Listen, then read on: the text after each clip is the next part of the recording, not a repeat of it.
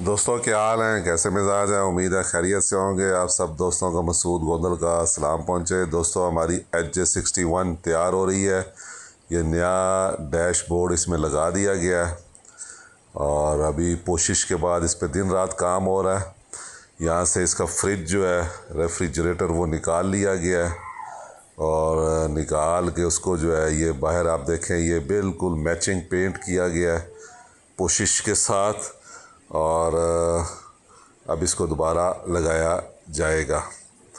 तो गाड़ी तकरीबन तैयार है, बस छोट, थोड़ा बहुत इलेक्ट्रिक का काम अब इसका हो रहा है और वो भी हम बड़े ज़बरदस्त तरीके से कोशिश कर रहे हैं कि करें।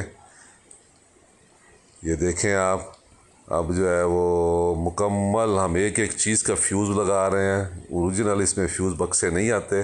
तब हम इसमें मुकम्मल ओरिजिनल टोयोटा के फ्यूल बक्से लगा रहे हैं। उम्मीद है चंद रोज़ में गाड़ी हंड्रेड परसेंट तैयार हो जाएगी। खुश रहें दो में याद रखें, शुक्रिया।